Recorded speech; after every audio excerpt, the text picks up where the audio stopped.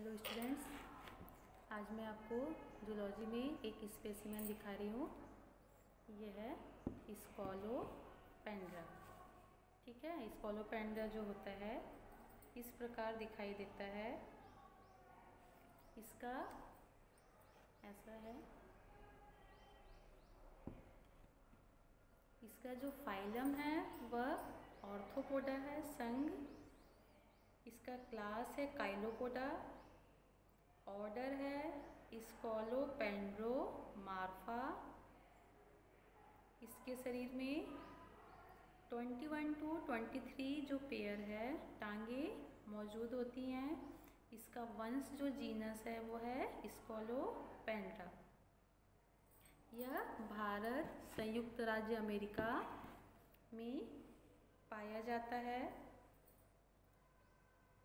यह कहाँ? दलदली भूमि में पाया जाता है।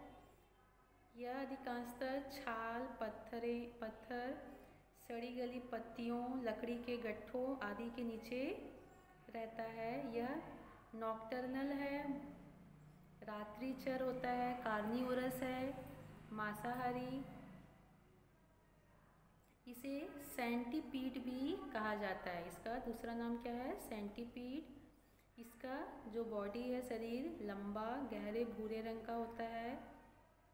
डॉर्सो वेंट्रली यह फ्लैट होता है।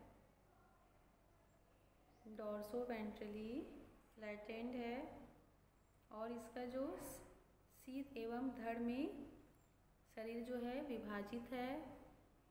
सिर के खंड एक दूसरे से अत्यधिक टाइट होकर जुड़ा हुआ रहता है।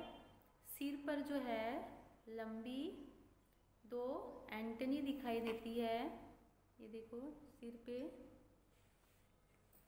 यहाँ पे दो लंबे एंटनी।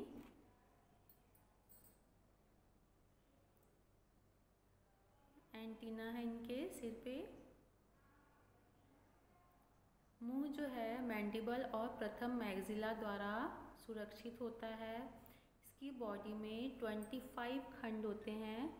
खंडों की संख्या कितनी है? ट्वेंटी फाइव प्रत्येक खंड में, हर सेगमेंट में एक जोड़ा टांग होता है। वन पेयर लेग है। शरीर के चौथे, छठवें, नौवें, ग्यारहवें और तेरहवें, पंद्रहवें उन्नीसवें और इक्कीसवें खंडों की टांगों के पहले खंडों में से प्रत्येक में स्पाइरेकिल पाया जाता है। शरीर के अंतिम खंड में एनस है, जेनाइटल एट्रियम इसके नीचे स्थित होता है। लिंग जो है एक दूसरे से पृथक होते हैं।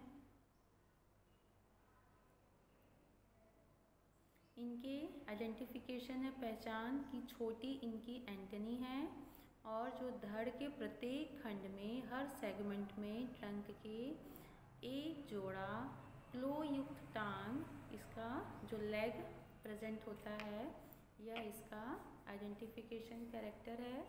यह हमने देखा स्कॉलो पेंड्रा यह सेंटीपीड भी इसे कहा जाता है।